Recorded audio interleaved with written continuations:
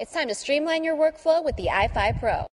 Just like other Eye-Fi cards, you can upload JPEGs and videos to your computer and to one of over 25 online photo and video sharing sites.